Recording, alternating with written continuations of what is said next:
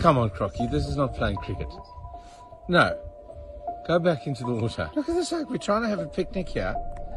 This oak just comes straight out of the water. Brother, you've got to go back into the your, your lovely dam. Have you ever seen a reptile? Oh, my beers are in that cooler box, man. No. Bring me my cooler box. And there's the other dude. Oh, he's come up there. This is not very gentlemanly behavior. And he knocked it over. Thank heaven all my Castle Lites in the wine. Thank you. you. Oh shit. Jeez.